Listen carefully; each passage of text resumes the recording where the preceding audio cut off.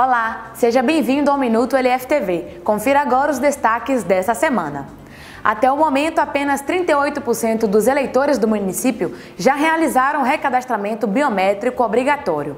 Quem ainda não fez, tem até o dia 22 de fevereiro para se dirigir ao ginásio de esportes, portando documento de identificação pessoal com foto e um comprovante de residência.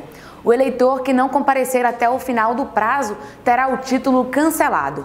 O posto daqui do município possui 10 guichês para atendimento e funciona de segunda a sexta, das 8 às 16 horas, mediante distribuição de senhas. São cerca de 400 fichas por dia.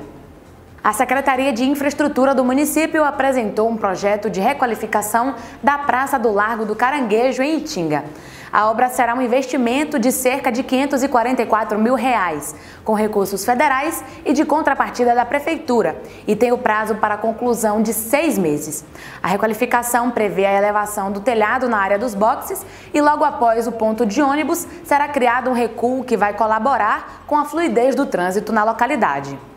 A nossa dica dessa semana é para você que quer sextar em grande estilo. O Arquipélago Summer Club preparou uma programação especial para você curtir o fim de semana. Hoje, a partir das 22h30, você poderá apreciar toda a estrutura do local ao som do DJ Liu, Sam Roll, Paulo Eiraldo e Moica. Já no sábado, o clube fica aberto das 10 às 20 horas, para você que quer tomar um banho de sol, renovar o bronze e curtir o dia ao ar livre. No domingo, a animação fica por conta de El Chan, Sorriso Maroto e Jonas Esticado. A programação é para toda a família e se fosse você não perderia por nada, hein?